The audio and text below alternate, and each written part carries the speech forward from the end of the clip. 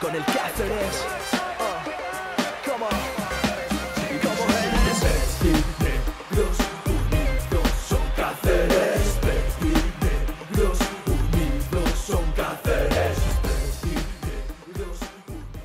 Bueno, pues como sabíamos, eh, ya habíamos comentado nosotros ya en la previa, sabíamos que Cáceres iba a salir eh, con una intensidad eh, eh, importante durante los primeros 10 minutos, eh, sobre todo en la, el primer arreón de los 3-4 primeros minutos. Creo que se ha juntado eso con un gran acierto en el triple, nos han metido cuatro triples en menos de minuto y medio. Eh, eh, nosotros no, no, eh, no acabamos, eh, cuando se ha metido el segundo triple, no acabamos de encontrar nuestro ritmo defensivo, nos estaba costando mucho. A partir de ahí yo creo que hemos empezado a rotar, hemos empezado a notar, hemos empezado a encontrar nuestro ritmo desde la defensa, hemos empezado a presionar, hemos empezado a meter canastas fáciles y eso nos ha permitido coger un poco de ritmo.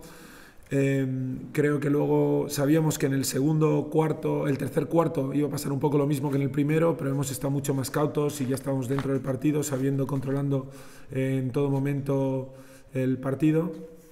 Y bueno, creo que, que, la diferencia ha sido clara en el juego interior. Nosotros hemos eh, tenido, hemos metido 50 puntos de, de juego interior eh, y hemos ganado el rebote eh, con, con 17 de 16 eh, rebotes más. Y también ha habido momentos en los que es cierto que hemos eh, jugado bien el balón, pero, pero Cáceres ha, bien, ha llegado bien a los tiros. Hemos fallado y hemos sido capaces de ir al rebote y coger el rebote. Al final hemos acabado con 16 rebotes ofensivos, ¿no? que habla bien de, del equipo.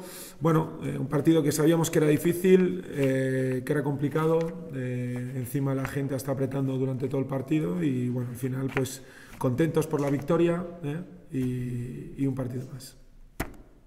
Hola, buenas tardes. Eh, con ese 13-0 de inicio, eh, ¿has pensado que se podía repetir lo del Palma de Mallorca?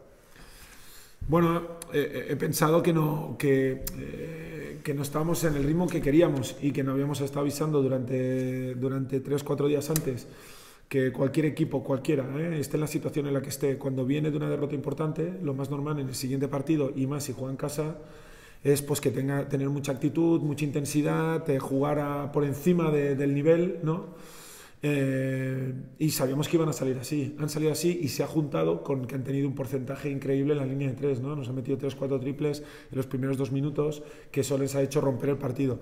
Sabíamos que no iban a tener el mismo porcentaje de tres durante todo el partido, aunque han estado, ¿eh? han estado casi en, en un 45%, un 42% de tiros de tres y han estado, nos han metido 12 triples.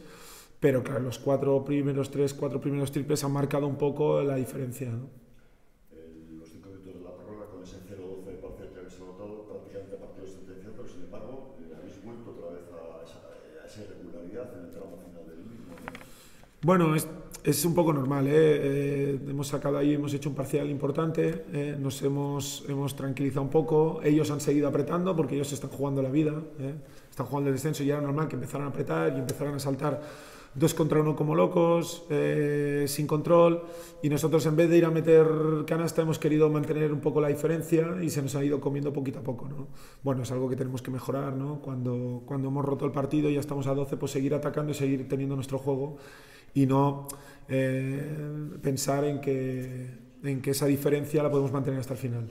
Normalmente yo nunca te pregunto el tema arbitral, pero yo creo que eh, algo que decir al respecto de la situación de arbitraje el tramo, en el cuarto último y en la prórroga. No, no, creo que eh, no, creo que al final eh, los árbitros eh, cometen errores y aciertan igual que nosotros lo hacemos.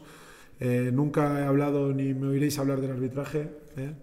Creo que, los partidos los, ganamos y los perdemos los jugadores, el entrenador y los equipos, no las decisiones arbitrales, por supuesto. Y, y, está claro que al final, pues bueno, han habido decisiones arbitrales, pero seguramente si nosotros no hubiéramos perdido la renta de 12 puntos, pues no habría habido un final ajustado, ¿no?